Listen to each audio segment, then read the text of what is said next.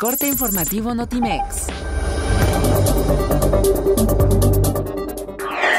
El jefe de gobierno de la Ciudad de México, Miguel Ángel Mancera, anunció que a partir de este jueves 2 de noviembre, la alerta sísmica estará integrada a la aplicación móvil 911, desarrollada por el Centro de Comando, Control, Cómputo, Comunicaciones y Contacto Ciudadano de la Ciudad de México.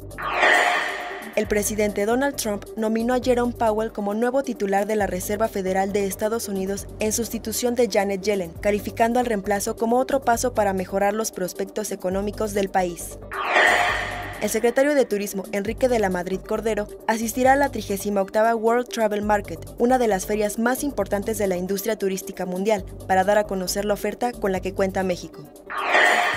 Nuevos mapas del fondo marino costero de Groenlandia y del lecho de roca debajo de su capa de hielo, hechos por diferentes instituciones, muestran que de dos a cuatro veces el número de glaciares costeros está en riesgo de derretirse de forma acelerada como se pensaba.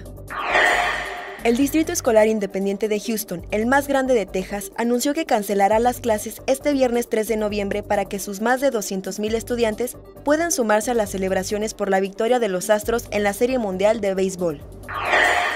El espectáculo Celebrating David Bowie, en el cual diversos músicos rinden un homenaje al fallecido cantautor y productor británico, llegará al Plaza Condesa el 1 de marzo próximo.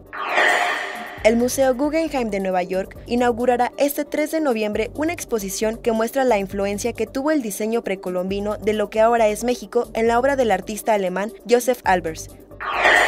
Notimex, Comunicación Global.